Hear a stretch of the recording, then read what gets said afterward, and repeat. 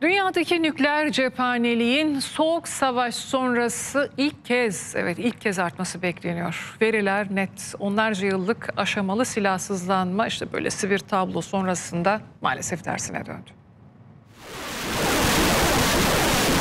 Rusya'nın Ukrayna'ya işgali,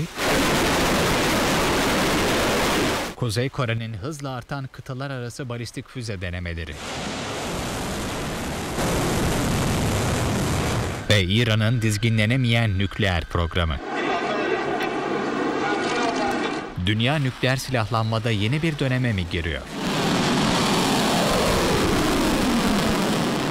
Stockholm Uluslararası Barış Araştırmaları Enstitüsü'ne göre küresel nükleer cephanelik gelecek 10 yılda soğuk savaştan bu yana ilk kez artacak. Her ne kadar nükleer başlıkların sayısı geçen yıl 375 adet azalsa da silahsızlanma dönemi sona erdi. Nükleer silahlanma yarışı soğuk savaş döneminden bile hızlı. Üstelik kullanılma riski en üst seviyede.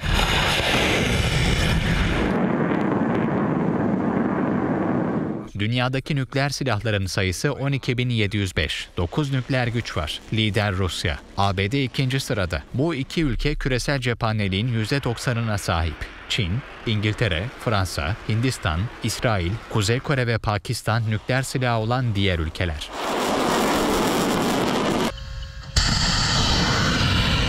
Altı bine yakın nükleer başlığı bulunan Rusya, Ukrayna işgali sırasında gerekirse ateşleme düğmesine basma sinyali verdi. Putin'in emriyle Rusya'nın nükleer caydırıcı kuvvetler alarma geçti.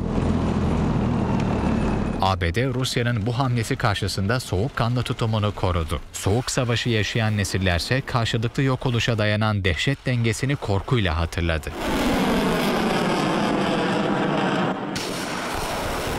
Kore Yarımadası nükleer savaş tehdidinin hissedildiği diğer bölge. Kuzey Kore 2022'nin başından bu yana 17 kez balistik füze denemesi yaptı. Ülkede 20 nükleer başlıklı silah olduğu sanılırken üretim kapasitesinin 50 adede bulduğuna inanılıyor.